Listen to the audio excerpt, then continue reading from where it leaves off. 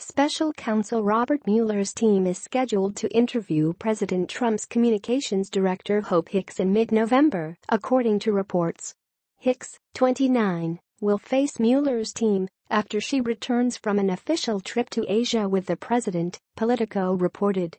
Mueller, who is continuing the Russia investigation after a grand jury approved charges against former campaign manager Paul Manafort and campaign associate Rick Gates, is also expected to interview several other White House officials as early as this week.